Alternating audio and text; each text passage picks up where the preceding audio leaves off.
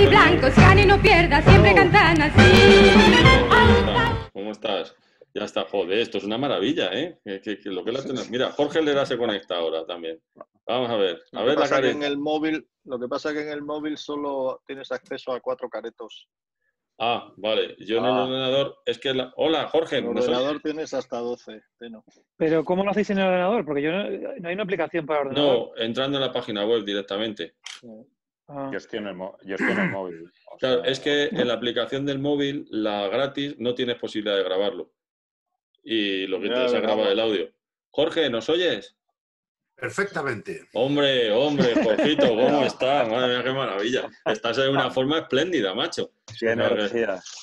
Y todo el día haciendo flexiones, suspensiones, abdominales, como todos estos. Oye, Mándanos, una tabla de ejercicios o algo. Yo, yo ya no quepo en la silla, macho. Estoy cada día más gordo. Una, que una tabla de ahumados te voy a mandar yo a ti. direct- directamente, ¿no? O de ibéricos. Mira, ya estamos todos. Ole, oye, estáis. Bueno, primero, estáis todos bien, ¿no? Bueno, ya sé que casi todos estáis bien porque hablo con vosotros continuamente, porque mi verborrea habitual me impide estarme callado en casa. O sea que sé que estáis todos todo bien y la fa- Creo que ¡Ay, A Lera! ver, ¿Qué pasa, güey? Ahora, ahora. Mejorado mucho Tenorio. Oye, es- ha salido Tenorio de la pantalla y ha mejorado una barbaridad. esto. sí, sí, verdad, verdad. Fluía todo con, con- con bastante más rapidez y Sí, y ya sí, sí. vamos, tremendo. Edilla, Edilla no puede conectarse porque sus dos hijas le tienen atado como el padrino búfalo en la gran familia directamente. Vamos a ver, es que a Edilla le he visto el otro día un estado de WhatsApp, lo que tienen esos dos monstruos solo en el baño. Digo, pero bueno, tío, esto es para que vengan los geos aquí, tío. Directa- No le direct- queda, no le queda milia a este. Madre mía. directamente, tío, tiene, tiene un pifostio montado en casa que no es ni medio normal el pobrecillo. Tío, es que son muy pequeñas las crías, ¿sabes? Son muy pequeñas. Como no vamos a hablar de fútbol, si vamos a hablar de nuestras cosas, bueno, hablaremos de fútbol, hablemos de lo que nos dé la gana, vamos, que no hay ningún tema en concreto, pues Y del, del pre- del presente del fútbol no en particular. Claro, no, del el presente del del fútbol presente. presente difícil está. Pero que es verdad que la gente nos, mm, nos, eh, demanda, nos pide, demanda. nos- nos lo pide, ¿sabes? Oye, cabrones, furrarlo y así nos reímos más. Bueno, pues intentemos, intentaremos hacer uno semanal, si os parece, de 40 minutillos y ya está. Además, la broma, como decía Tony, podemos gastar la broma que no tenemos dinero, pues nos hemos quedado sin trabajo y que no podemos pagar la suscripción los, previa. 40, a los 40 minutos eh, se corta. Entonces ir corta, rápido, ¿sabes? rápido. Efectivamente. Corremos, corremos el riesgo de que sea un podcast premonitorio. Sí, Y esto directa. como- o sea, todo esto, tú, Bueno. lo puedes, gra- tú lo puedes grabar esta conversación por eh, Sí, la misma se- se aplicación, Se está grabando, se está grabando, sí, sí. pe- pero dentro de la misma aplicación. Ah, mira, Sí. sí, hay una cosa que pone grabar. Eso es, eso es, ahí está.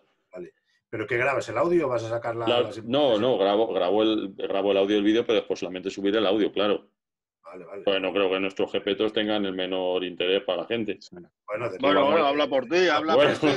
ya, claro, tío, ya hablo por mí, pero vamos, entiéndeme. ¿Qué dices de premonitorio? No, para mí es una realidad ya. Yo eh, estoy trabajando en, en el alambre ahora mismo, vamos, ni en el alambre, no tenemos trabajo, vamos. Bueno, en nuestro caso, en el alambre de espinos. Claro, claro, pues, efectivamente. Nosotros, nuestra Bueno. actividad es cero, pero bueno, ya llegarán tiempos mejores y llegan. Y si no, la ventaja de, de ver películas de zombies es que sabes todo lo que hay que hacer.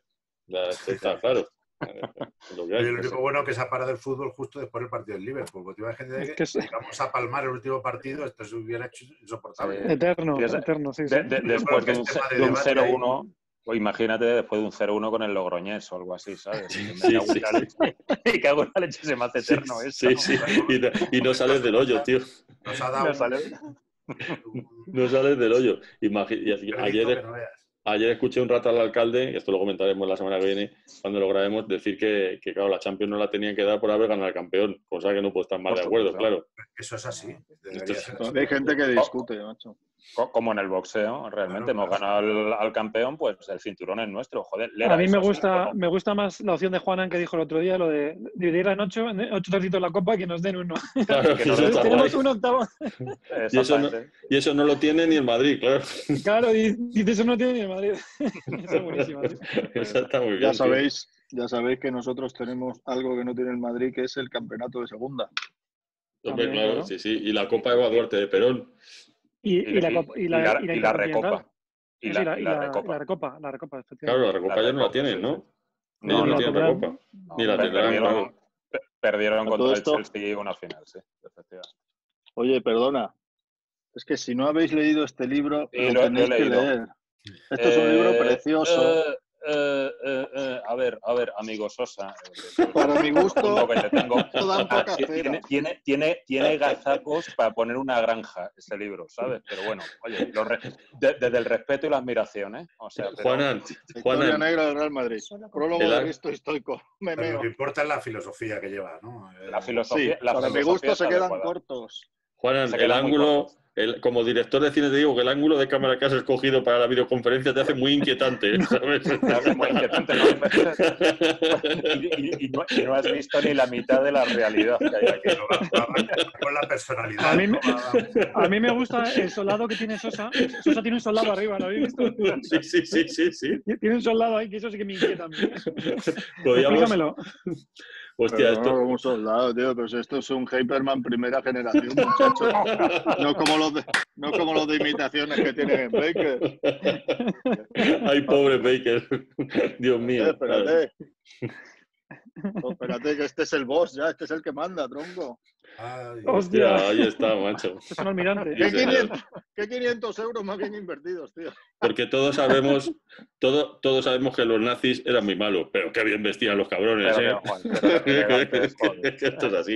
Y que era Hugo, Hugo Boss, amigo. No estamos hablando de ninguna tontería. Hugo O sea Boss que- vestía efectivamente a la Wehrmacht y a la Gestapo. Oh. Bueno, perdonad, Bueno. que quiero haceros una pregunta a vosotros que sois gente lúcida. Hostia, si te has en serio Eh. y todo, venga, dale, dale. Sí, sí. Ah, me gustaría saber lo que opináis del fútbol, de lo que va a pasar con el fútbol, porque yo creo que la liga, por supuesto, no se va a volver a disputar un No, claro. partido y que va a ser un sueño. Una vez que no entramos en Champions, los haters de Simeone se la comen doblada. Se va a quedar la liga igual, como si no hubiera pasado nada. Pero tú crees que se- yo creo que se va a anular directamente. O sea, que, esta, que este año no, No, va a ver. contar. No, está- están, planteando, están planteando cuatro escenarios, lo leí el otro día. Están planteando cuatro escenarios. Uno es eh, que solo valga la primera vuelta. Bueno, o sea, uno- es eh, completar la liga, que yo creo que va a estar complicado. Otro es que solo valga la primera vuelta. Pero estate quieto que me mareas. Vale, es que me he ido. Genio nos hace la visita turística por Marina incluido. ¿eh, Sí, sí, no, es que me he ido a la cocina para no molestar. No, eh, y luego, otro es de congelar la liga en el momento en el que está ahora mismo. Con lo cual nos joderían, Ya. porque nos. No, no, no, fuera eso, no puede ser. Ese, ese Y bajo otro es- concepto. Y otro anularla y que, y que se quede como el año pasado. Entonces yo creo que por, orden de justicia, lo, lo más justo es que se continúe y después, si no, que, que valga la primera vuelta, tío, porque es, hemos jugado todo, todos no contra todos. Bueno, que, que sea la temporada 2019-2021. Claro, ¿Sabes? Y ya está. También. Iremos tirando el año que viene. claro, Yo, sí, sí. Sobre, Que ruina la para los del dinámico, eso, ¿no? Para los del dinámico, eso de la Liga 19 Bueno. 21, eso es- Igual es un igual es un tomo que tiene una edición limitada y es mucho más difícil de encontrar. No, pero una cosa es la justicia y otra la jurisprudencia, no, no olvidéis eso. A mí particularmente me parece que lo más práctico es anular la liga, Claro, yo también estoy de acuerdo con eso. anular la liga, porque es lo más práctico en todos los, los campeonatos nacionales. Ten- tengamos en cuenta que yo que he sido DIRCOM de muchos años y por lo tanto soy un manipulador de la información, vimos que tiene una, un- un- una visión sesgada e interesada. Por ejemplo, Tebas, ese hombre, se ha hecho una gira por todas las, las- las emisoras de radio repitiendo machacodamente lo mismo, que es, sí, sí, esto vamos a empezar a jugar, pero tío, si es tu puto interés, que no coincide en absoluto, primero, ni lo que es un ejemplo cívico, ni lo Claro. que yo creo que va a pasar, vamos. Entonces, obviamente que no sé lo que va a pasar, como es lógico, ni, ni ninguno de nosotros, más allá de que Tenorio y yo nos vamos a la ruina, eso sí lo sabemos. Eso sí, eso Pero está en claro. cuanto a las ligas, tío, yo sinceramente prefiero la anulación total Claro. y como si no hubiera pasado. También se, anula- se anulan ligas en la guerra o las fallas, ¿entiendes? Sí. Hombre, las fallas, nunca bien ponderadas. No, ha habido cosas, ha cosa- ha habido cosas muy buenas que ha traído el coronavirus, ¿para qué nos vamos a engañar? Mira, las fallas a tomar por culo, eso a mí me parece muy positivo. Eso es una cosa que ya no- El rocío, El rocío. claro. Pero eso porque no ha sido nunca las fallas. En las fallas no- mm, se llaman fallas por, un, por una errata. Porque las fiestas se llamaban follas. Porque es sí o sí follas. Bueno, No te no así creas, en el ¿eh? rocío. No así en el Yo- rocío. Yo puedo dar fe que no. En el rocío no, ¿no? No, ni a las fallas. estamos estamos Yo gastando sí muchas balas pa'l- pa- Sí, para no sí, grabar el podcast, ¿eh? para miércoles, tío, sí, sí, sí, sí. Pero si no era para probar el audio, Juli. Sí, sí, sí, muy bien, muy bien, sí, lo has hecho muy bien. Si es que tú solamente, tú eres como el avecren, enriqueces nada más, macho, ¿sabes? O sea, tu presencia. Oye, pero yo, pero yo me he acojonado porque está tomando apuntes, ¿has visto? Está ahí, tiene, tiene una hojita con un bolígrafo. No, porque- Así como los políticos. Porque, porque me dicen cosas. me la, de- me la apunto, Cantelar, me la apunto. Aquí de- Vale. Bueno, Te ofensas graves a Miguel Sosa, un cuaderno, como Forrejao, ¿sabes? O sea, lo lleva ahí. Ñi, ñi, ñi, ñi, ñi, ñi. pues, el, el fan de Salinger. Salinger es un, Bueno, es un ahora- pesado. Salinger, te digo una cosa, le pasa como a Rilke, Igual, igual. está sobrevalorado, está sobrevalorado. Rilke sí. Hostia, ayer el, el, el chaval ese que es más majo que las pesetas, el Luke Rey, ese, que es, un, es para comerse la beso, me, me pone ahí. Pero ¿cómo te atreves a ponerlo en inglés? Digo, la madre que me parió lo que hace ya la el confinamiento. Yo me he puesto a hacer una limpieza exhaustiva de la cocina y resulta que tengo microondas, tío.